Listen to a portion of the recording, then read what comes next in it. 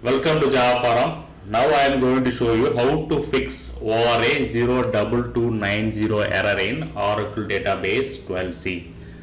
So uh, I have logged into the SQL Plus editor as a common user called C. Make sure that you have enough permission to execute the SQL query.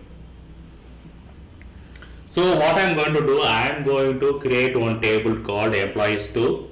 So I am going to have uh, two columns to the table, name and age. Name and age. Okay. For the age column, I am going to uh, declare the check constraint. For age column, I am going to declare the check constraint.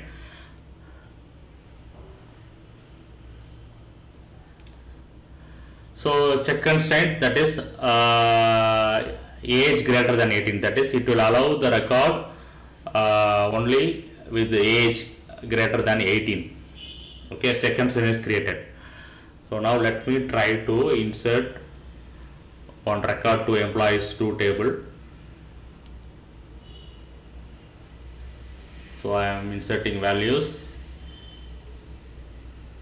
less than 18 you can see ORA 02290 check constraint violated.